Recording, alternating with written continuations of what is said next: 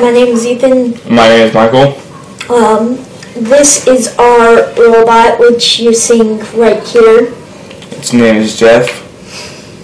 Name Jeff. Um, so the robot is supposed to meet the requirement of interacting with the environment.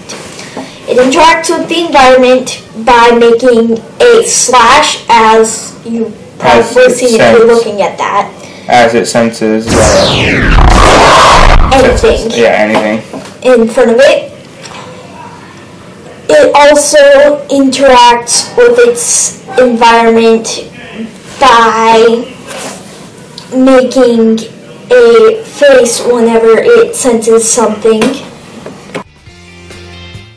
Whenever the robot senses something, along with slashing and making a different face, it will also turn around and continue to move forward. Also, whenever you press the button, it will actually shift, it will show some eyes and then they'll start shifting.